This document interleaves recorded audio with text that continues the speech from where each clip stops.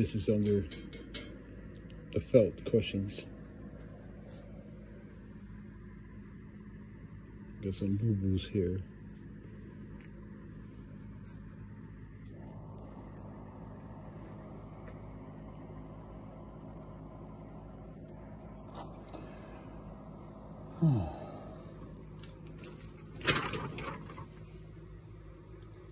This has been washed, but it's probably dirty again. This is the original though, and it's very nice condition for the original. Boo-boos here. Probably do a better job touching these up a little bit. Actually, the finish is missing there. Those are old, as are these.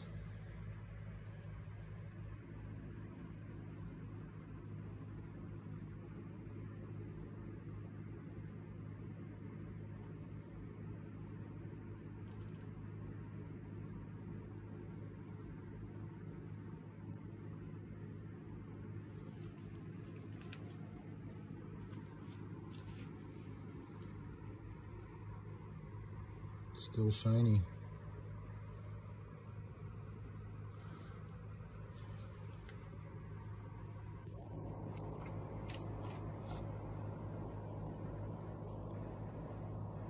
Okay. We got to make a decision before we put this plate in. Because the next time I put it in, it's to stay in. These areas over here, where the tape is, I'm ready to spray again to match it up to where, to here, this area to here. This was pretty beat up, as were these. But we're blending them into this plate color here. So it needs to be a little bit more shiny, a little more gloss in here, maybe a little more yellow. But I can do that. Won't be perfect, but it'll be pretty darn good. And if you look at it, when it's all strung in together with the dampers in, if it is not picked up by your periphery, if you don't see it and your eye go right there, then it's a good job. This should blend in pretty nice. Some of these I can touch up, these little ones. See, on the edge here.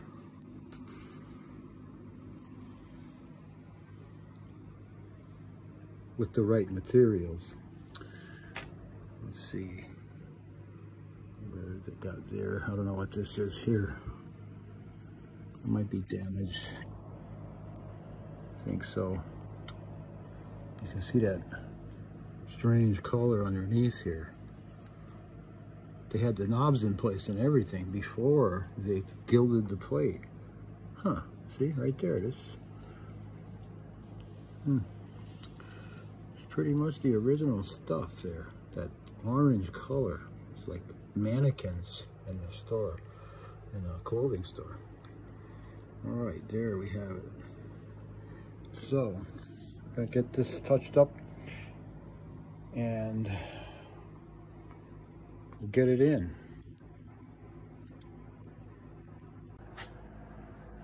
Now we're getting ready to put the plate in, touching it up. Um, this is the original over here, and this is brand new over here. This has been tempered down, tinted down to match this. And all of these were pretty beat up from here out, all of them. And they've been touched up a little bit. This, of course, is the original. This one needs the shading put in, as does this area and this area. This is just sanded down, ready to be sprayed. And uh, an amazingly good condition for as old as it is. All these struts.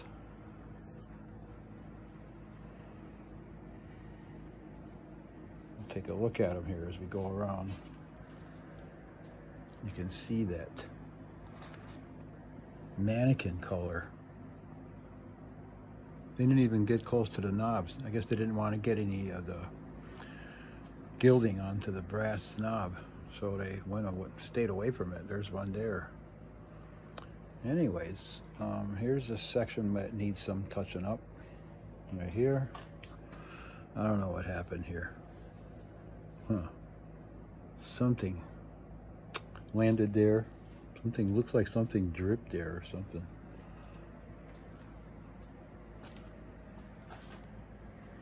I don't know if that'll clean up. I don't know what that is. Oh, something took the gold paint off right down to the the, the uh, primer, if you want to call it that. That mannequin color. There it is all over the place. And this, of course, is under the felt. And it's in very good shape. I might be able to get away with touching up a few of these. Like this one here.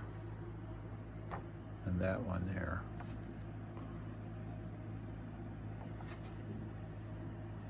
You can touch the brush on some of these on the edge here. But to try to fix just that boo-boo with a matching color is almost impossible. Perfect, to get it perfect, and to age the same. So, that's a question. Um, this looks good. Probably could use another washing a little bit. Huh. That looks like a factory run right there. It is. See that right there the varnish went over the edge. And that's all original stuff. Camera can see better than I can. Anyways. These match pretty well to the original. And they were beat up. All of this was. Anyways, we're to do that. Pretty it up a little bit. And then we'll... Uh, put it in. Here's another shot of the plate here. I mean, I mean the soundboard. Gonna finish polishing this up here, giving it a shellacking as we go. But here, just another quick look at this. The artwork is very nice and very well preserved. This was taken from a photograph of the original. So there we have it.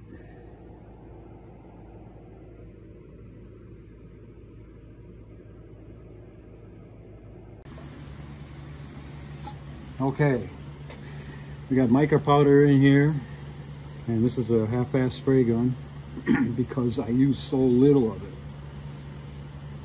It makes it easy to clean the gun and the spray cup, I just throw it away after. Peanut butter jar, Teddy. Anyways,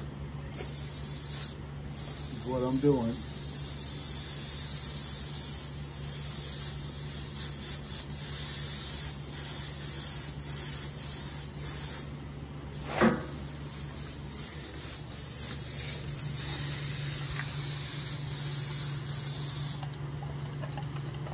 Stirring it up because it lumps up in the bottom. Got so little to spray here.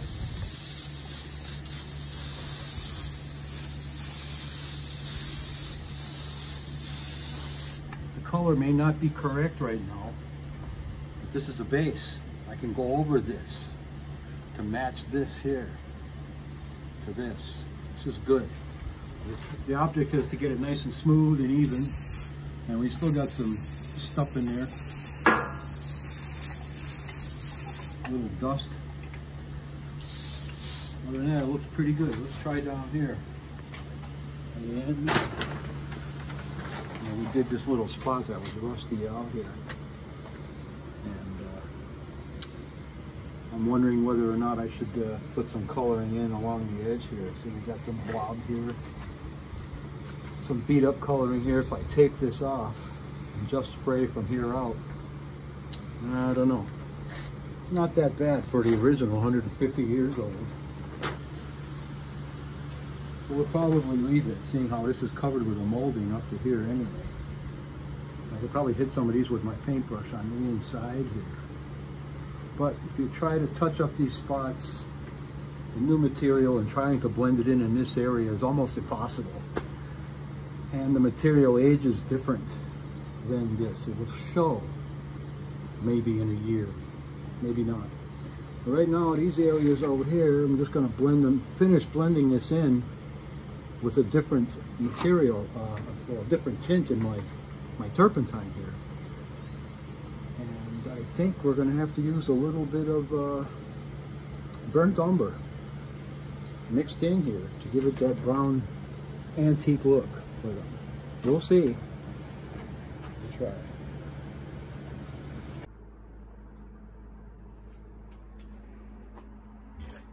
This is the powdery mess.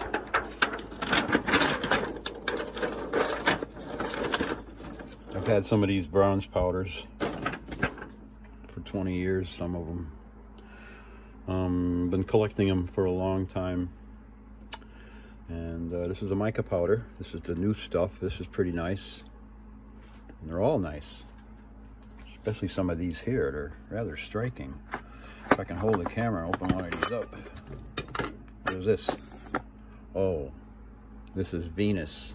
This is the good stuff. United States Bronze Powder Company. I don't know if they're still around, maybe. If you call them up, you get all kinds of weird, weird responses. Nice stuff. I've used that for a long time on lots of plates. And all of these, well, what happened was some of these cans have been open a long time, like this one. And they're at different stages of tarnishing. Some are a little green, some are a little yellow.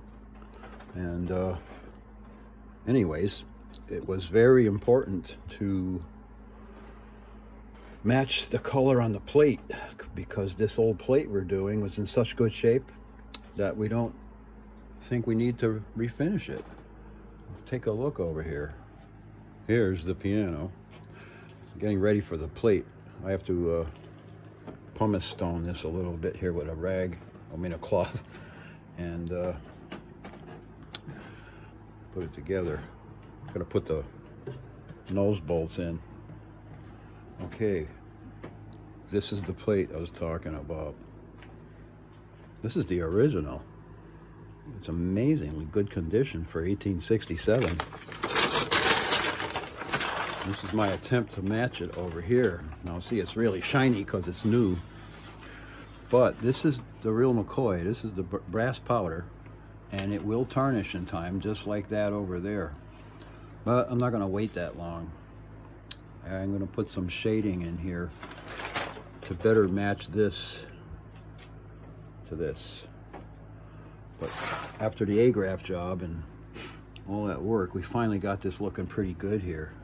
And I'm going to put it in as soon as I get the nose bolts in over here. And we did show this decal before. This is a photographic reproduction and it came out really nice. We lost a little bit of the little hairpin lines around, but not too many. They, they fade away a little bit here. What's most important is we got the shading right and the gold and the letters are, the numbers are clean. But see this shading around here? That little like gray green shading? And that's what they don't give you in the commercial decals for your chickering or whatever. Anyways, we did it. Actually, the client did it the owner of the piano. So here we go. Let's put that plate. Okay, finally, after a long pause. Anyways, I had to, getting ready to put that molding in. It goes right here. I had to put some more finish around here. It was lacking. Just put a little polish in there. That's it. The rest of it's ready to go, pretty much. And this is, of course, this is the original molding. Lucky to have it. You know, I think it's made out of pine, but I'm not sure. Looks it. Might be soft maple. But anyways, um, where it goes. In here. That lines up pretty darn good for a 150 year old piece of wood. And right here, we have the marks that were there. Right here. See? That's the telltale sign of where it went. And it went here. Like so. We're to glue this one in now. But before I do, I'm to put the finish on it. Try to put a pretty good finish on it. It doesn't have to be a lot, just pretty nice to match this because I don't want to be putting the finish on here and interfering with this. I, am done with this. I don't want to be screwing around with that no more. So, um, okay, we'll glue this in and uh, go from there. The finish on the top can be put on the same time as the side is here. I'm going to do some repair on the side, but it doesn't need that much. It's amazing. This is the original finish on this piano. All right, so let's put this molding in here, and that'll be, while that's drying, I'm gonna put the nose bolts in, put some finish on here, in the holes, and then uh, we'll continue with the 33B saga. Okay, here's that molding that we uh, getting ready to put in. I just sanded the heck out of it here. Looks nice, the whole thing. And of course, we're gonna put some shellac on here, give it a coat. Now, I'm not gonna put a real big French polish on here because I gotta glue it into the piano, but it's gonna be nice. If I put too much finish on, it might interfere with my clamping it up and might damage the finish on here. But look at how nice that looks, huh? A little bit of coloring on here. And we'll leave that dry. The one on this side. And that's it. Make it look nice. Hard to do this with one hand, but here we go. Isn't that pretty? 150 year old wood. And I don't have to make it. I don't have to go looking for it. And I don't have to worry about it being aged. It's aged all right. There we have it. Isn't that a pretty nice piece of wood? That'll go in right back perfect where it was. So, let's do it.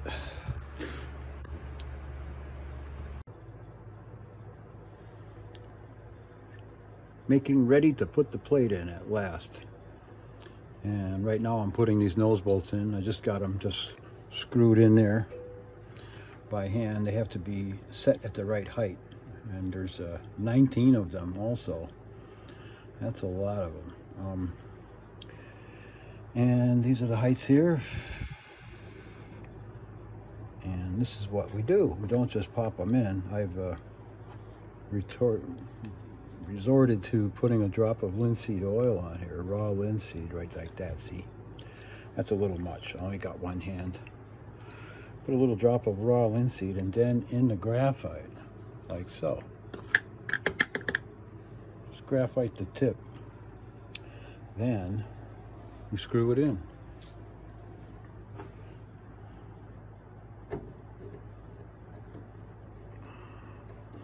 Linseed oil makes a good lubricant. It's good for the wood. Hydrous holds moisture, but anyways, it makes a good grease for dry putting these in. They just slide right in with that graphite. I'm gonna have to do the finishing here first on the side here because after the plate's in, I'm not gonna be able to do anything between here very much.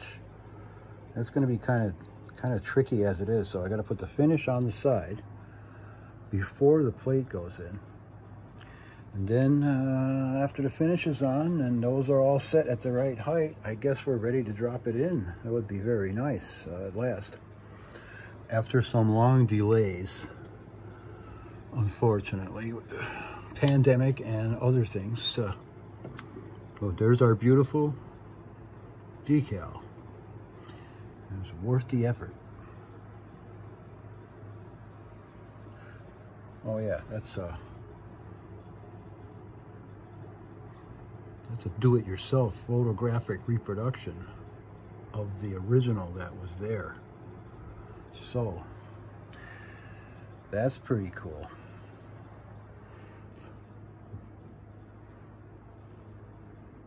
Onward.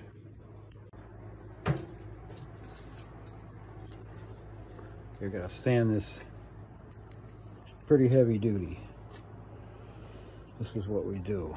This old finish here. I don't know what this is, but it didn't turn black. It's 220 paper. It's pretty rough. And uh, that's what we do. You can sand most of the boo-boos out, most of the discoloration out like this. take it right down as far as you dare. Oh, it's got a nice, pretty heavy finish on here. Look at that. Gonna be able to polish this up.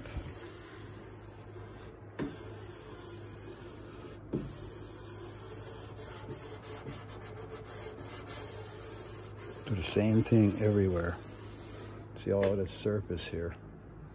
That's not so bad for 150 years old, I guess. But other places it is. So while I'm doing the inside area here, this inside, I'll do the top two. Might as well. And we're going to be real careful not to damage anything after this point on. Uh, not that we weren't careful, but now we've no need to put any more boo-boos in here. I know a lot of the heavy duty work is done. So we'll sand this down as much as we dare and we'll see what it looks like soon.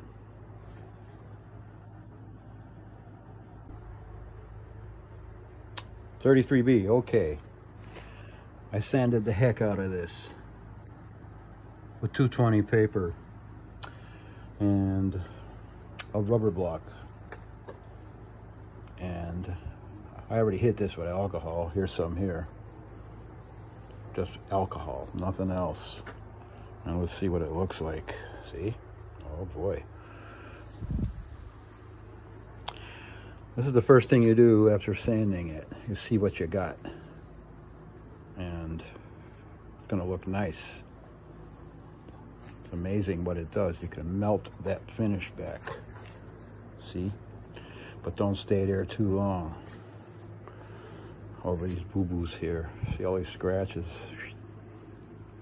You can see the scratches, but it's melting the finish back somewhat. I have to go over it a couple times so it penetrates and gets it soft right there. And then uh, we can French polish over this after.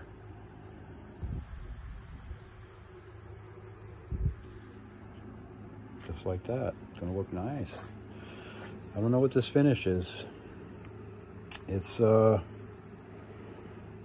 boy, it seems like nitrocellulose. We were discussing that, my business partner and I. Doesn't have any odor when you sand it off. Got to put a piece of veneer there. We got some. And uh, can't get the inside here. Got to show you.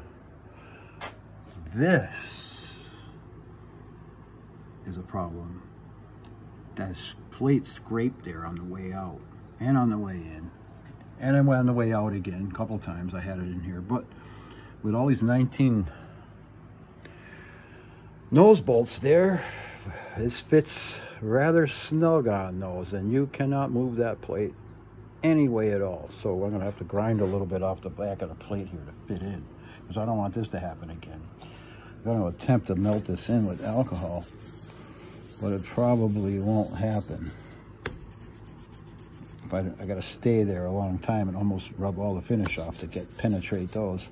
I can fix those with my hot knife, uh, the burning knife I have. And uh, I could probably melt those right back in. Those boo-boos. Everything else looks pretty good though. Yeah, it's gonna look sharp when it's polished again. Very nice. Up here. Good. Nice color. Anyways.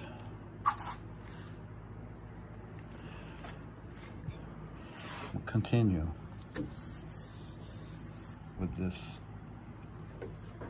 Wish I had someone to hold the camera, but I don't.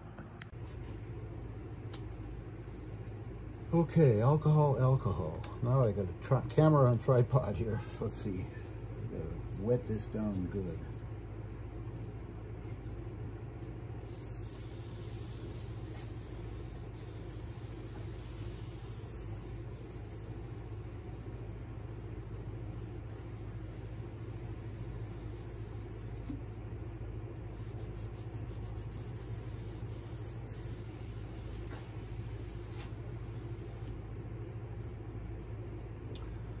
Wow, it looks pretty good.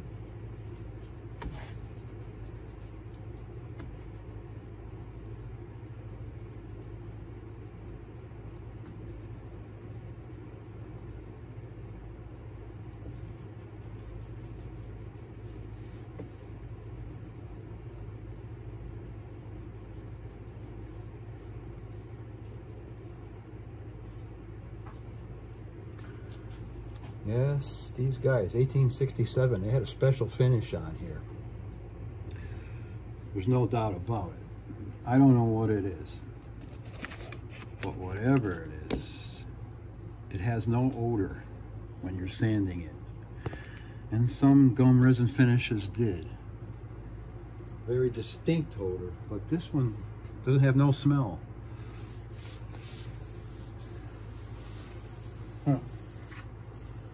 It behaves almost like nitrocellulose. That is possible.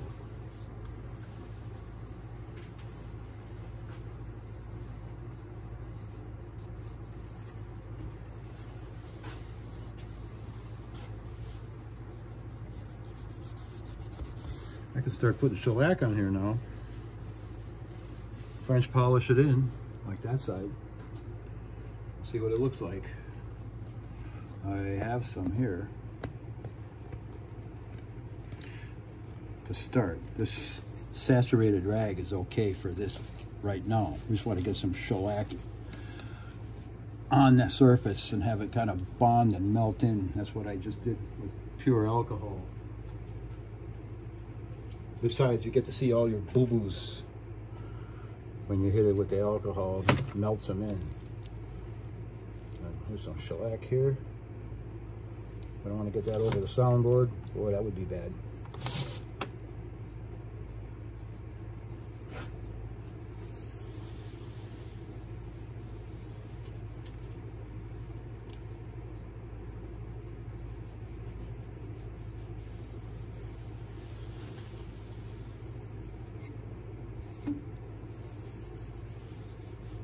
This is shellac now, but my rag is saturated just kind of like etching into the surface.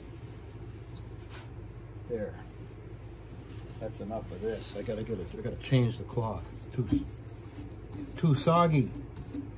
No good. Good for this. Laying it on quickly and rubbing it in.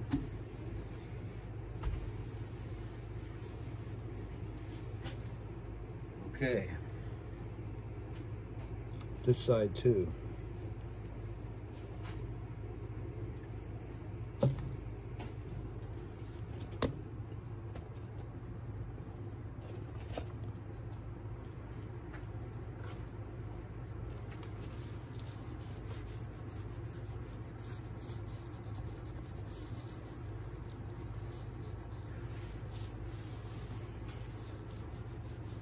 Looks pretty good. All this is below the plate, this pinky stuff here.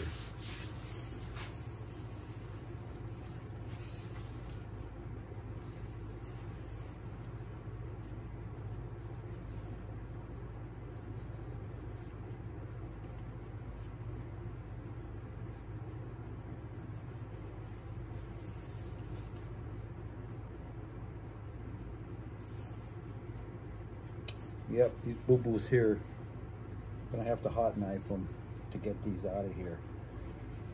They're uh, too deep. It could eventually melt them with the alcohol. But you'd be washing away a lot of finish, and uh, we don't want to do that. So I'll take my hot knife after and show that. Fix those boo-boos, especially that one way down the end down there. So let this dry.